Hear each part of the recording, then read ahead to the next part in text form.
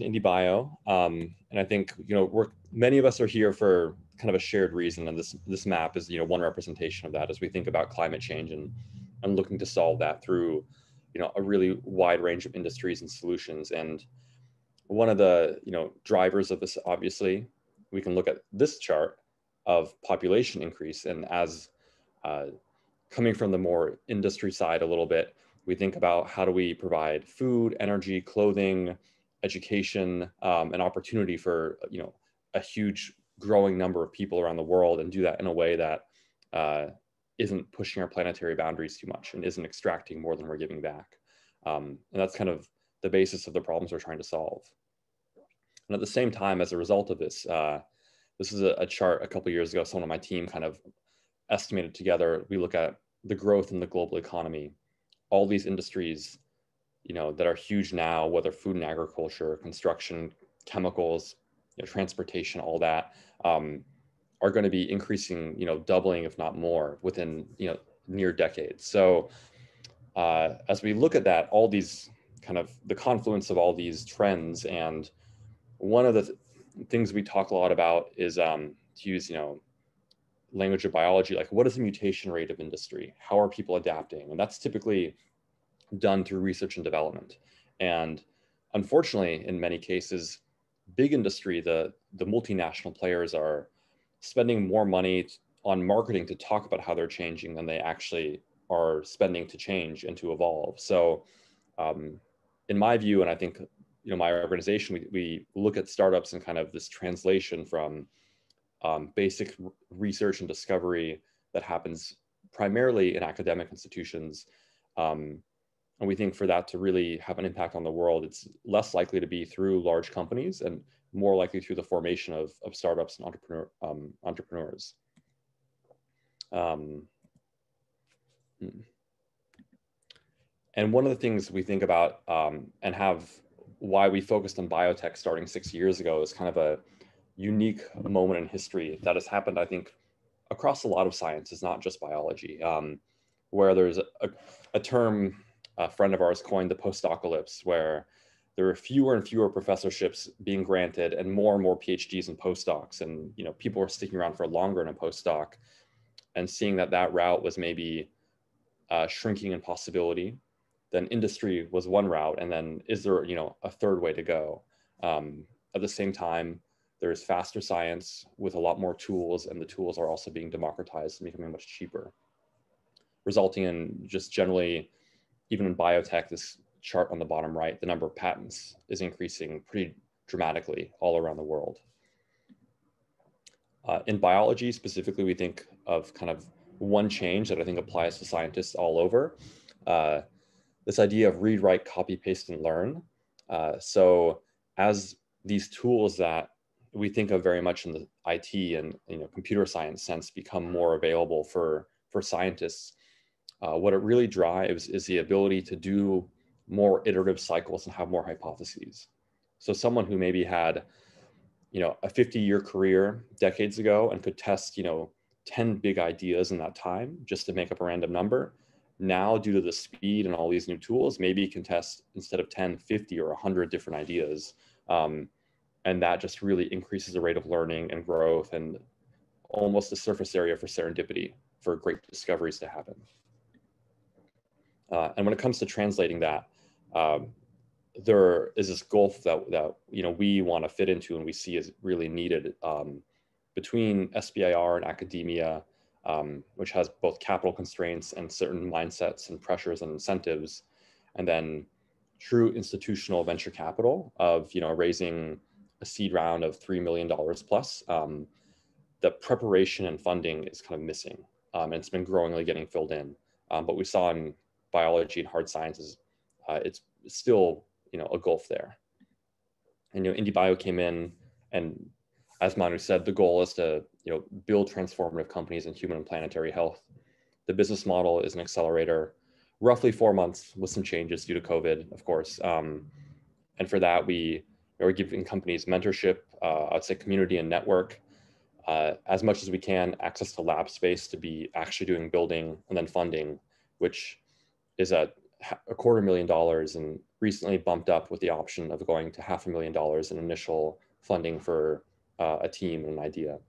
And you know, on the right uh, is a picture of, of Uma Valeti, the founder of Memphis Meats, the world's first uh, cultured meat company, and you know, someone who started out really as the first company in this in the space and has become a leader of a, a very large movement, um, both in the popular media as well as investment industry.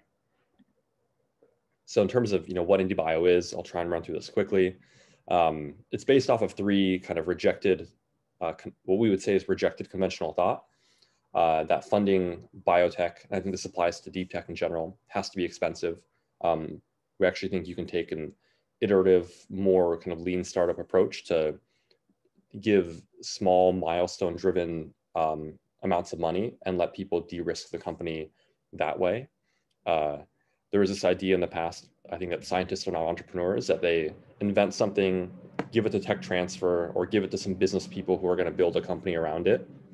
And uh, I think that, you know, the the process of, of you know getting a PhD or a master's or really learning the scientific method really does apply and translate very well to the world of, of entrepreneurship. And lastly, the scope of these technologies. You know, in bio specifically, therapeutics was, was where it was seen, but uh, we think it can really impact the world in almost any industry. So we funded 140 plus companies in the last five-ish years. They've raised, at this point, the number is probably a, uh, quite a bit higher than one and a quarter billion dollars. And the, what's important to us is really that about two thirds of the companies are raising money. So it's around repeatability and helping a lot of people succeed as opposed to just one or two companies out of 100 who are doing well and driving all the numbers. In terms of the people, um, we recruit companies from all around the world with over 40 in origin. I think the founders represent 100 plus companies in origin, really. Um, over 40% of the companies have female founders. Um, I think there's been an increase in uh, drive for representation, which is something that we definitely think about and, and, hopefully are trying to do our part in. The age range is super, super broad. Um, think there is no prototypical entrepreneur. The youngest is around 18. I think 72. I'm not even sure if that's the oldest at this point, but we've had people, yeah, starting companies in their 70s. And then almost every single team has at least one PhD or postdoc. So very often it's both both founders are, are scientists by training. Uh, the, the model during COVID became hybrid and for virtual, what was normally in person, but really a focus on uh, product-driven science, um, doing being done in conjunction with you know doing business, having conversations, understanding and learning the problems and needs of the market, and helping that inform your product development. A lot of work on storytelling and, and raising capital. So from the beginning to the end of that process, as well as the intangibles of of helping uh, scientists kind of make the jump into a hybrid entrepreneur and learning leadership skills, building a culture for a company, and creating a, a broader movement in public. This is all based around repeatability. So how can you essentially in this in this graph, we're trying to you know show how do you compress your cycles of, of testing and learning to be able to adapt and you know evolve in the market as opposed to going the way of the dinosaur as a company by being too slow. We offer lab and building space, um, which is just part of the standard package, and also an ecosystem of investors, corporates, uh, government, industry, um, mentors, and all that stuff. And I'm going to run through a little bit just some examples of areas that we, you know, fund and some, some I hope, exciting companies for people to learn about. Um, we talk about diversity of both the people as well as the ideas. I think almost every industry can be affected. Um, as mentioned, uh, food is probably where we've had, you know, the biggest impact. We have over 40 plus companies across the food system. Uh, we are the first companies making, uh, you know, milk without the cow, egg without the chicken, meat, fish without the animals. Um, people doing plant-based products, whether plant-based milk or mayonnaise or ice cream, uh, bacon or others. Uh, one of the interesting areas is um, DNA data storage and computation. So this is one where uh, using actually encoding information to DNA, you can really work around a number of the big problems in, in data storage where uh, the density in DNA is over a million times greater than anything we have now. um, the storage for it, it can last longer than any technology we have. And the, uh, also the amount of energy you have to use to do that and, and replicate it is actually very, very easy. Um, agriculture, as I mentioned, is a big one. I think um, it's a really challenging space due to kind of few very large incumbents, uh, challenges with people just staying in business and, and thin margins, um, making innovation, uh, making people more wary for innovation, more conservative. Um, but we definitely have seen a lot of really interesting uh, applications here, whether um, companies working on pollination and bee health, so both making bees healthier, as well as increasing crop yields, making alternatives to chemical fertilizer and pesticides using biologics and, and bacteria, uh, working on making carbon neutral beef uh, by eliminating methane emissions uh, from the cow, uh, as well as you know another actually very recent one that just entered our program using uh, machine learning to predict genotype to phenotype to be able to do crop breeding and understand what's happening in the field much, much faster. Uh, materials and fashion is actually an area we've been looking at quite a bit. Um, it's a really polluting industry. So this is a leather jacket made by MycoWorks. Um, it's one of the largest companies in the world using mycelium uh, to replace animal leather. Uh, and they're have it announced, but working with a couple of the you know, biggest clothing and shoe companies in the world.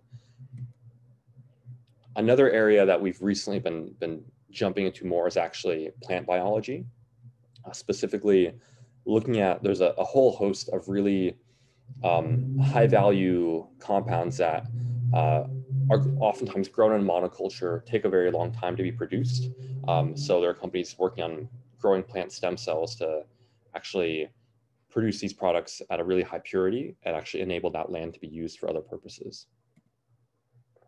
And then another even more recent area that is one that we think is really important, uh, but is highly challenging is construction. So this is a picture of uh, one of the first bench prototypes of a company that is looking at uh, taking in CO2 emissions alongside uh, different different mineral mineral rocks and actually uh, capturing CO2 into cement through a process that is increasing heat, pressure, using UV, using UV light to take what happens over many, many years in nature and compressing it down to hours. And lastly, kind of showing here uh, a company actually called MemBio out of uh, Waterloo, Canada, that's looking at um, building a bioreactor to make blood, uh, universally accepted donor blood outside the human body for what is actually a very big shortage and, and big need in, in healthcare.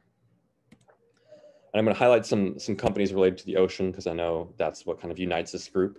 Um, it's an area that I, as I said at the top, I think I'd love to see a, a, lot more innovation and things happening, but it's definitely moving along. And the last year and change has even really started evolving. So first, uh, a company in the feed space called Novo Nutrients, um, Brad's worked with as well, taking in CO2 emissions uh, plus hydrogen uh, to make single cell protein using a community of bacteria.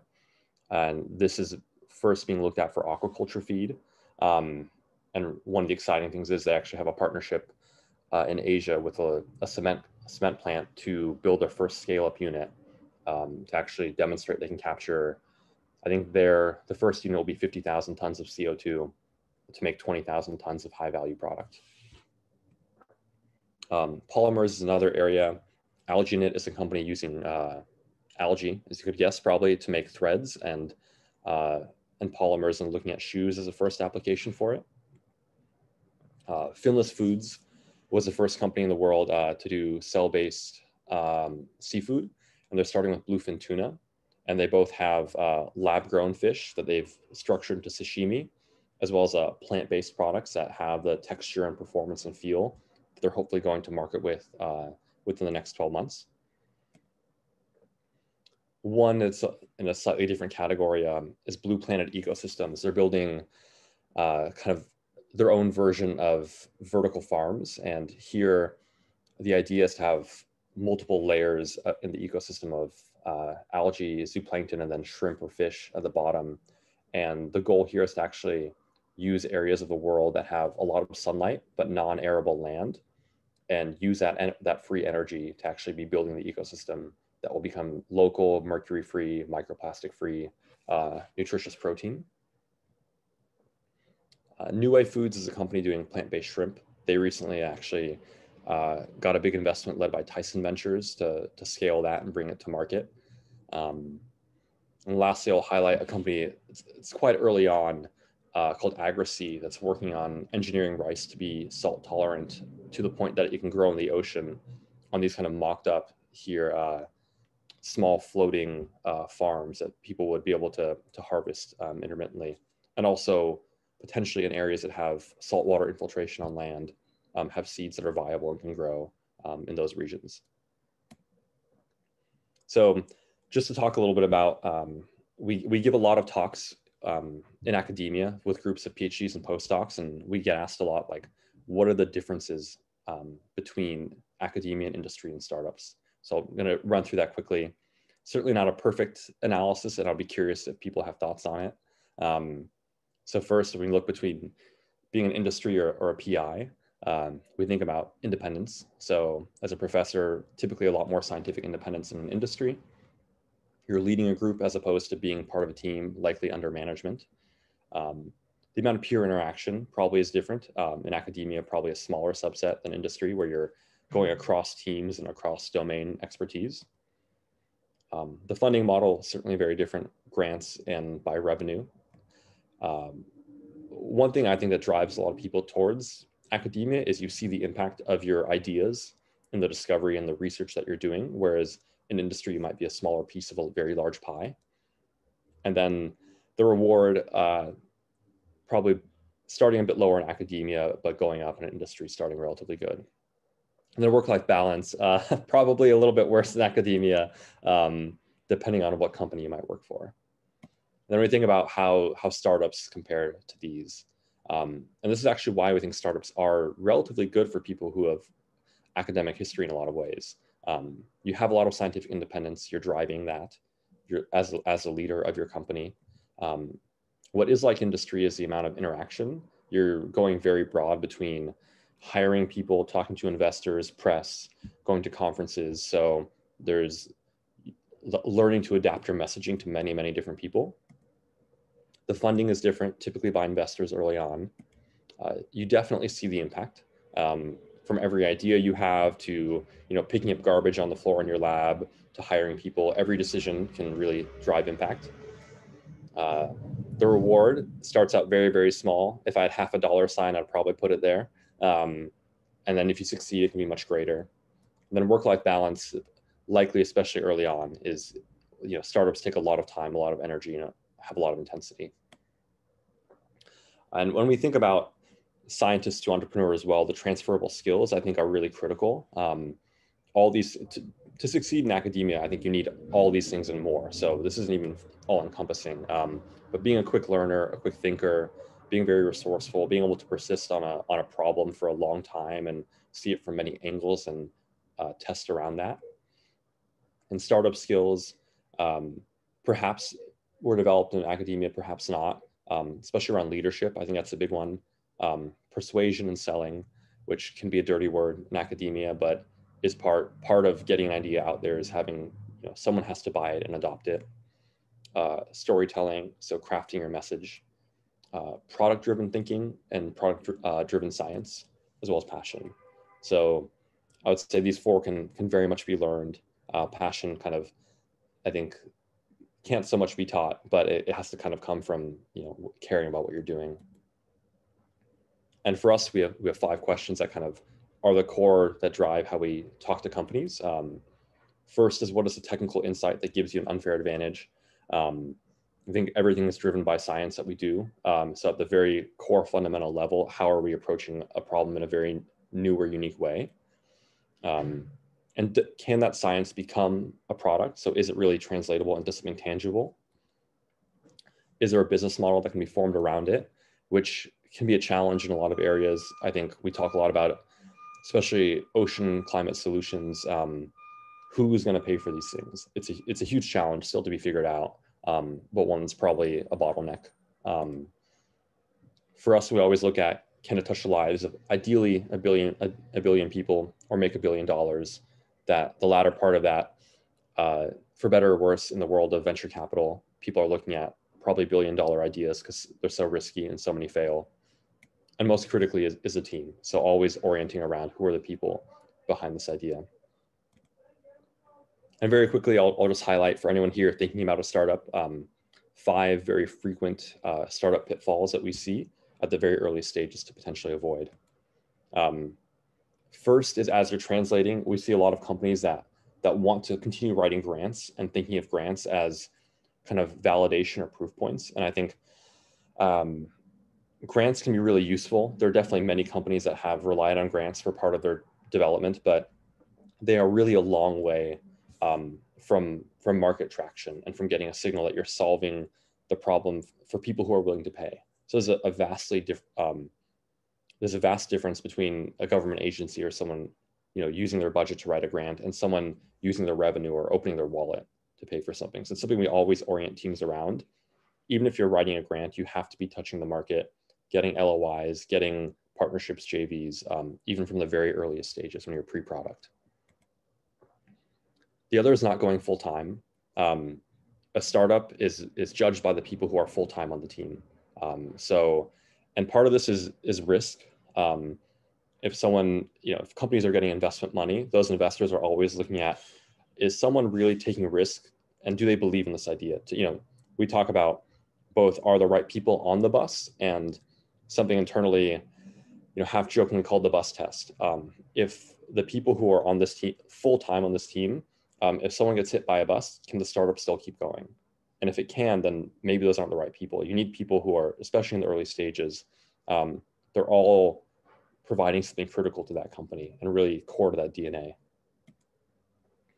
The other, um, build it and they will come mentality. Um, that's one, you know, happens very frequently. Uh, where when there's a great idea and, and the perception of a problem in the world, um, and climate change is a very real problem, but very broad.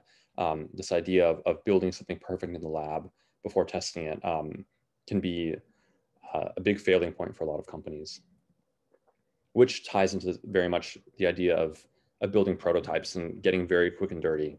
Um, the picture here is actually from a company doing food safety testing. They had a technology in the lab that could uh, capture and uh, very quickly detect RNAs from the three most common food pathogens. They spent months getting it perfect in the lab. And we told them, you, you have to go to a kitchen or, or talk to a customer and, and figure out like, do they care about this? Does this work? Like, how will you actually run the process in, in real time?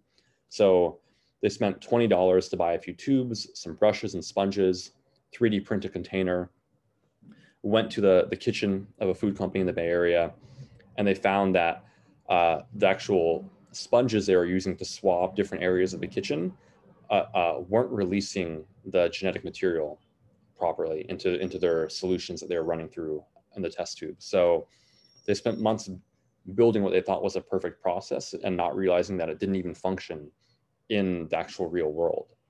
And then as they started solving for that and talking to more customers, they realized that the real problem they had to solve was actually training and automation. So customers didn't want to have to hire technicians or people who had scientific background. They needed to build an automated unit that was all encompassing. And the company took months and spent a lot of money uh, without realizing that. And lastly, uh, in the structure of a company, you know, a cap table, which is you know where the equity is going. Um, a lot of times, uh, companies might put too much of this out and, and not think of a proper structure. So we see a, a really common easy easy format for companies with 10% of an ESOP, which is an option pool to give to new employees and hires. Um, for a lot of companies spinning out of academia, for with um, PIs who aren't full time on the company, a maximum of 5% equity, roughly equal split for the people who are full time, and then having a plan or license for the technology from from the company or from the university, I should say. Cool. Um, that is all for me. So I'm going to stop sharing hopefully uh, people have questions or want to talk about it. Thank you. Round of applause. So that was, uh, I found very interesting to me, but I'd like um, to have a bit of a Q&A among ourselves. And then if there's interest, we can go in some breakout groups. Uh, if you could all please turn your video cam if you have it so that we could just sort of have a feel of being together. Um, and um, who wants to go with some questions?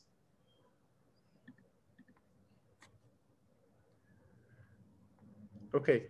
Maybe I'll start. Uh, I, I, have a question, Manu, if you don't mind. So, Alex, thanks for the talk. Great talk.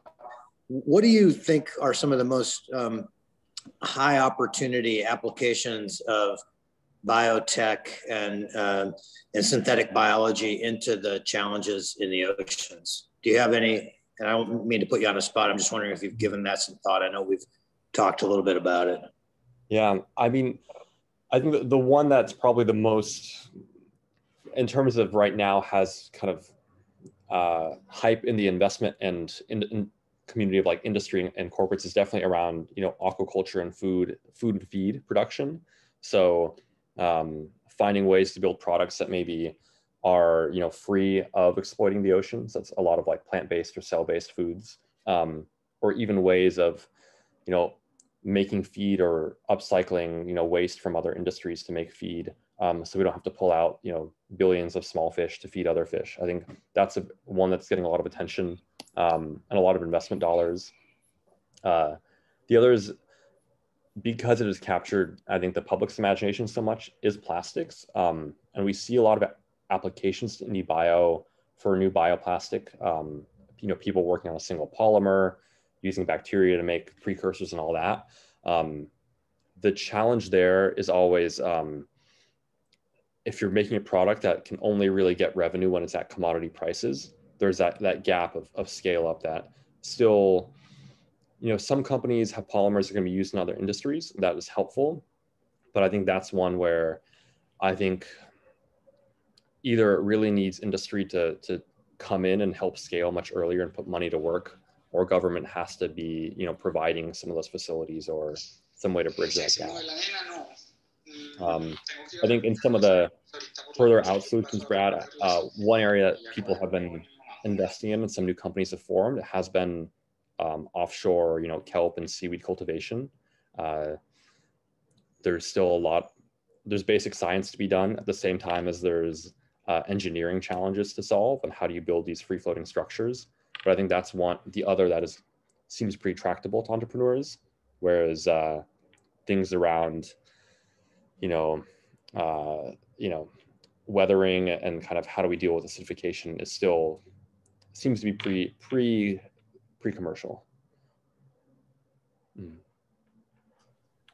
I have a question. Um, so in terms of like how someone gets their company started, like from the very beginning, are these people that are coming to you just people that are like phd they like they have phds they come to you with an idea and they're like please give us money and you just give yeah. them money and have them and and they you fund their research or is that like i guess how does that usually work for you guys? Yeah um so it's a mix. Uh we have a lot of just inbound applications. We also you know do visits that used to be in person. Now it's a little bit easier to go abroad. Um, uh, to universities to meet scientists. And there's everything from people who have, you know, prototypes and early proof of concept and work they've been doing, maybe somewhat commercially. Uh, we've had definitely many companies apply with an idea for, with some scientific underpinnings for it, why it's kind of, why it's, uh, what I'd say, engineering and not basic scientific discovery. Um, that's kind of the key, I would say. And some of those are actually, at this point, are most advanced companies like uh, one that just had a big announcement yesterday, Clara Foods, they're making um, egg white protein without the chicken. They came with literally an idea on a piece of paper. It was one scientist and one you know CEO who wasn't a scientist, and they launched their first uh, animal-free protein onto the market yesterday.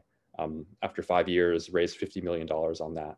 So um, it's something that we. I wouldn't say this is the norm, but like our team, we have a technical team that can evaluate science um, we like ideas that are out there and crazy to some extent. Um, so we we're fine with ideas. So what happens? Sorry, I'm just gonna stop. So what happens if it doesn't work? Like, what if like you know they realize this is like not a good idea, and then it, like your company put in however many thousands of whatever dollars. Like where, like yeah, what happens? Uh, there's two routes. If that if you find that out and you run out of money, like that is part of the world of startups and venture capital like we lose money like we we are we know the amount of risks that goes into a startup and that it, not every idea will succeed. I think it's something we talk about pretty openly with the founders. Like, and I think one of the things that, you know, we have a lot of people pre-COVID, especially who visited our labs and like talked to us, how do we build an innovation cluster in Brazil or Japan or France or, or wherever? And one of the keys is around culture and mindset. Like, especially in the Bay Area, and I think this is growing more, like failing at an idea is is not a bad thing. Like there's there's no shame in that, and there's no shame in, in trying for it. So I think that's a key. We we know that can happen, and when that time comes, we talk to the entrepreneur, and they might make a decision to shut down. The other is, you know, people pivot ideas in crazy ways, and I'll give one example um, that can sometimes be in this talk. I didn't highlight it. We had a company in our first batch working on um, essentially making cheaper stem cells for academic research. So they had a way to differentiate and make mesenchymal stem cells. Um, it was a great technology. It was way, way cheaper, but they found that selling into academia took too long and people didn't really care about that cost savings. And they were down to like their last fifteen, twenty thousand dollars. And the, the technical co-founder was in Napa Valley. And he saw on in this one winery this like $10,000 bottle of who knows, like 90, you know, 1915, whatever wine. And he was just thinking to himself, I don't know how this came to mind. He's like, I could figure out what's in that and make that at home. I can make that in my lab. So they went and they uh, essentially rebuilt an exotic wine from the from the ground up, molecule by molecule, by analyzing it, pre-sold it, and then raised two and a half million dollars off it. And now that company is called Endless West.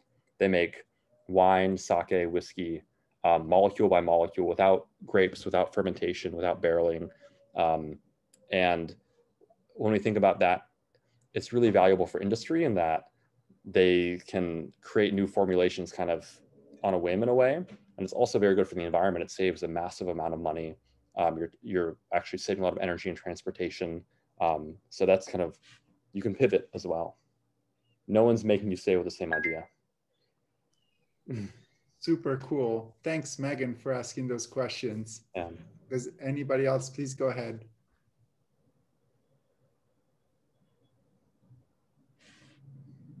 Okay. Well, well, people are thinking of your next question. No, Denise, did you have a question? Go ahead. Oh yeah, um, I did. Um, so I guess in terms of investing in companies that are more involved in social entrepreneurship and social initiatives. How do you decide when to invest in these companies so you can kind of balance meeting these social goods versus still meeting kind of like prevailing economic concerns that you could have? Mm-hmm. Uh, that's a good question. I think for us, we are we are among other things, we are technology investors alongside it. So we we want to use technology to have a social impact, um, and I, I, think a lot of companies do demonstrate that. So um, there's a lot of great social impact companies that are just not technology driven that wouldn't fit into our specific investment mandate. Um, otherwise, if it has what we think is interesting science and application um, for social good, uh, you know, we'll look at it at any point. So do you have any specific sectors that you have a question about or kind of application areas that, that come to mind? Um, no, I'm more so thinking of sometimes you hear about companies where it's they have a great idea, but they kind of enter in the market at the wrong time, sort of mm-hmm. idea.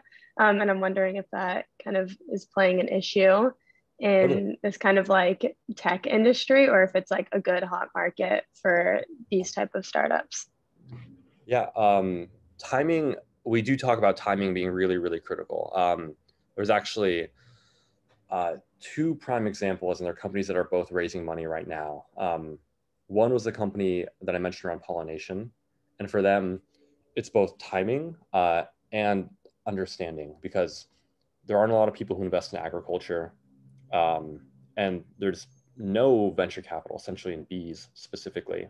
Um, but their timing was good enough where uh, there was enough care about sustainability and bee health in particular, the colony collapse, that it kind of drove a lot of awareness. So they were able to raise money and, and get partners really well.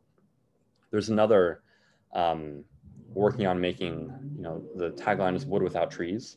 So using waste fibers from different um, plants and uh, fashioning that into furniture or panels and other things. And we're kind of talking internally and this is like a half joke, half truth. Like, do we think in like 10 or 20 years it's going to be illegal to chop down trees? And like, if that's the case, this company is going to be worth like an incredible amount of money if they can make these materials without trees. But um, can you as a company survive until that right time, like when the market really cares? And they found pull in other ways, but uh, timing is, is huge. See, Leslie, you have your hand up. Please go ahead. Yes, thank you. And let me see if I can put my hand down so I don't forget later. Uh, first, I've, I've lived most of the uh, bins that you talked about, and you really nailed it, what the pluses and minuses are of academia versus industry versus your own startup. Um, we have, uh, we're a nonprofit and we work on restoring Arctic ice. So, and, and that's mm-hmm. something that we haven't figured out how or if one should make a for-profit Totally. Um, I think it would get in the way of, of a lot of what we're trying to do, but there are for profit spin offs. Would somebody like us be somebody who should approach you? And, and for profit spin offs, like, you know, helping with fisheries or helping with, with water conservation. It's mm-hmm. not it's not biology per se, but you've got the vision that sounds very akin. How what what would your choices be? What would your advice be for people like us? Um, I mean, I'll, I'll just speak for myself. I think I'll speak for my team as well. I mean, we'd love to talk. I think that's a, it is like a grand challenge of humanity.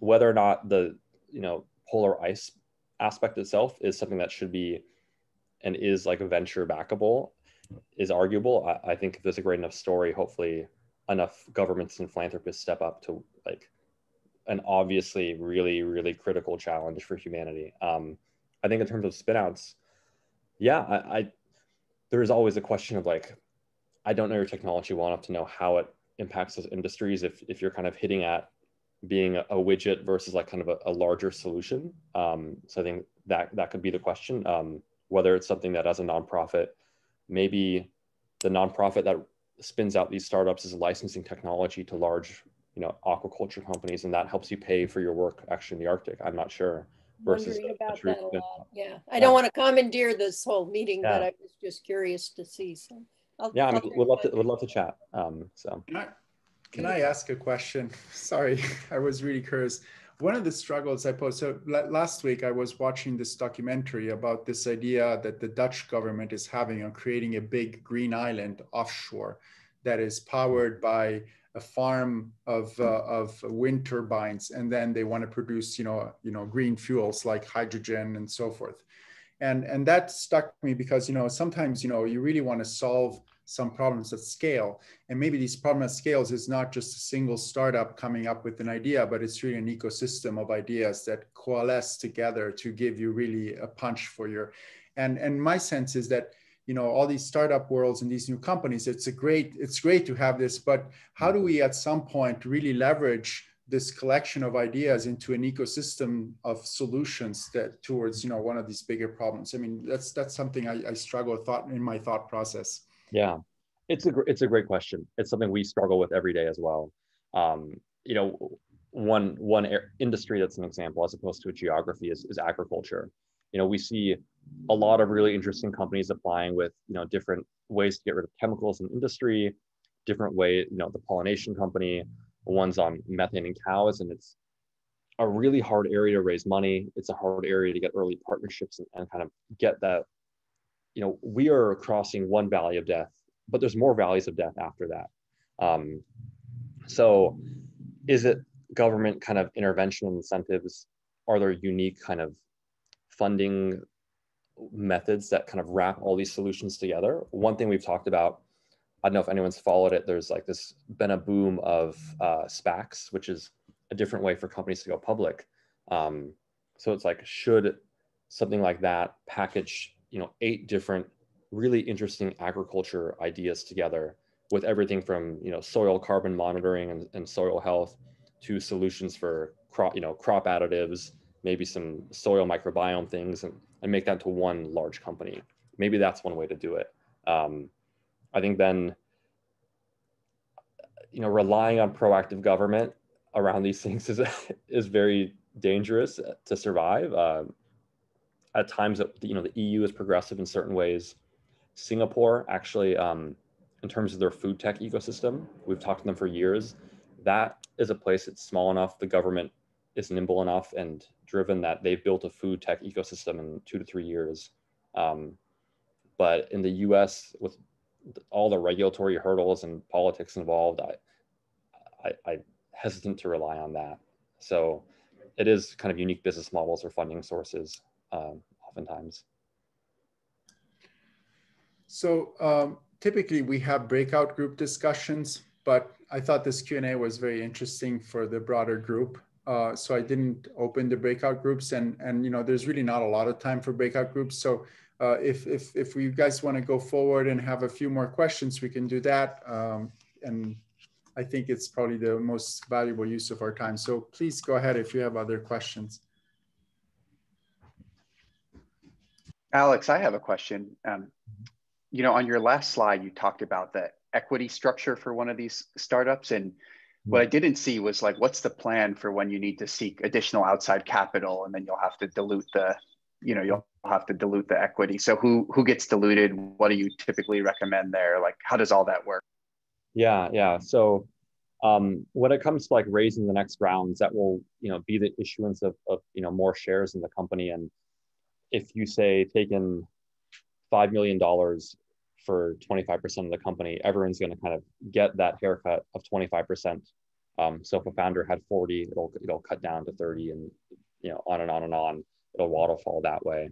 Um, I think typically what's important there is, is, you know, one of the guidelines that, that we tend to use, and I think is pretty common in the Bay Area, is that both is looking at um, fitting the, the timeline of a startup as well as the most VCs look at this business model. So if you're looking at VC funding, it's typically uh, enough money for roughly 18 months of runway and hitting specific milestones that are next up for the company.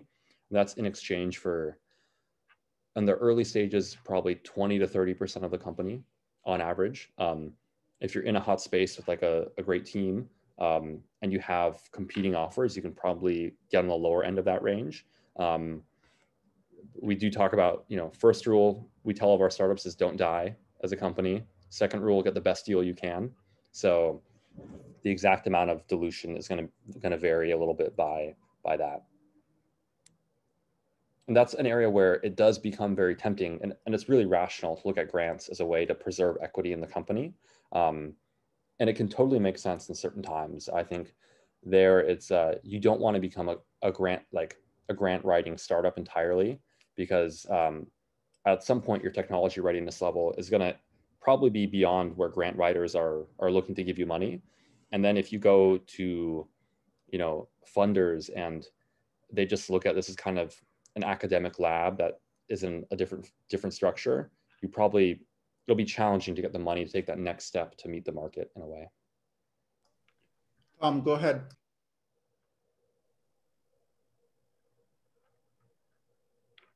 Well, I think you're on mute, Tom.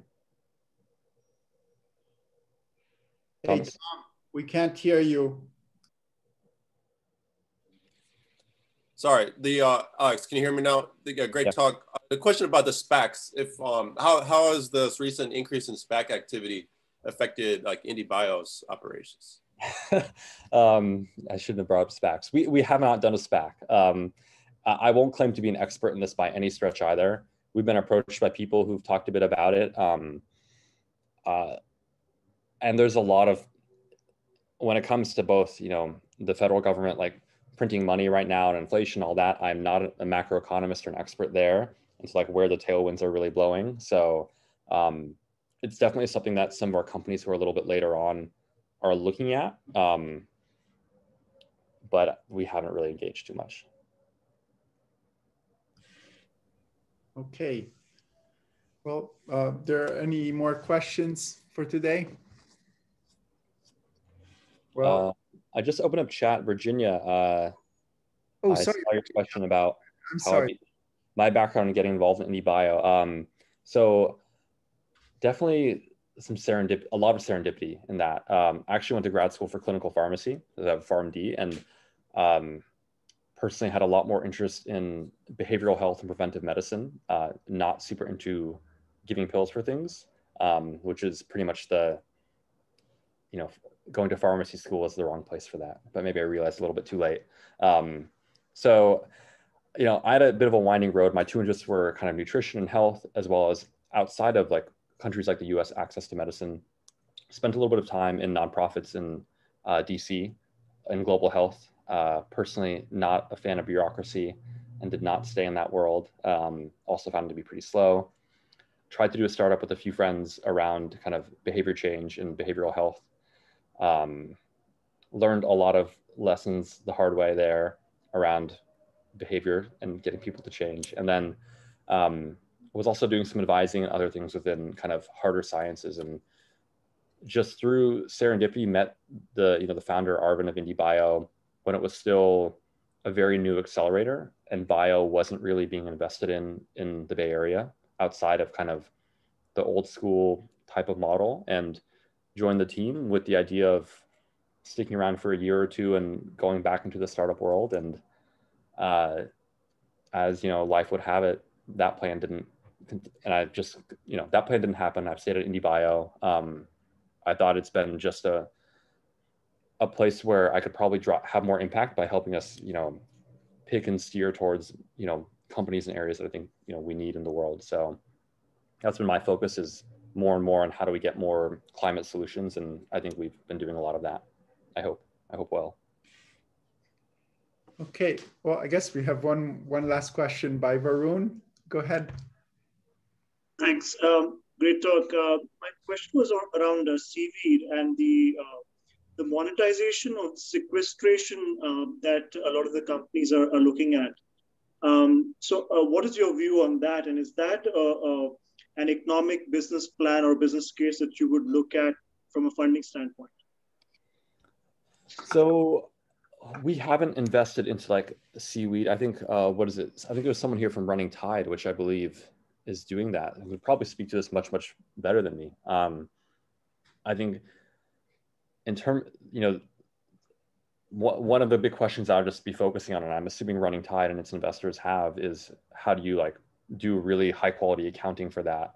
Um, and have companies that are willing to pay. I think it's kind of it's a scary business model. It's one that can definitely work i think in the new world we're entering with climate change but most of the seaweed companies we've talked to are people who are looking at using it for kind of you know food feed food fuel fiber and kind of those those type of applications um, which are a bit more commodity and, and need some processing and transportation uh, i think what's been interesting i've started to see more and more of companies who are looking at how do we kind of biomine so to speak um, all this all the the world of seaweed that we don't know. So how do we cultivate a lot more species? How do we find really high value compounds that are useful for human health and medicine or additives in food?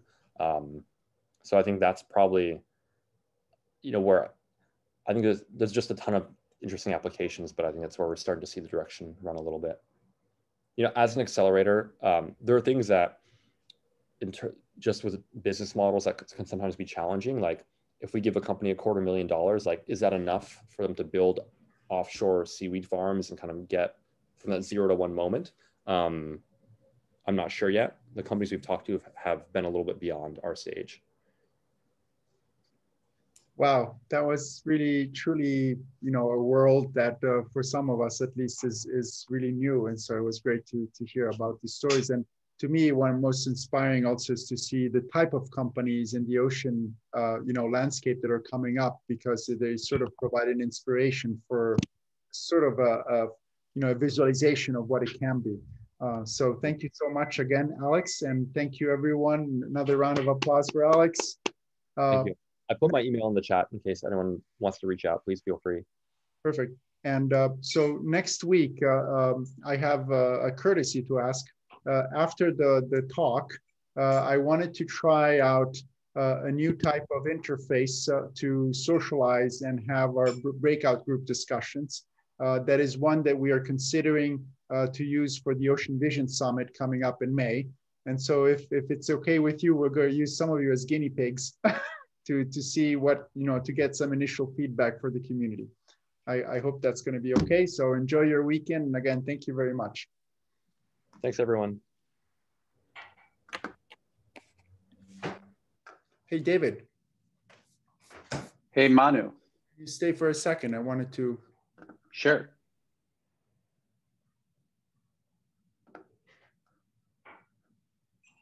Let's see.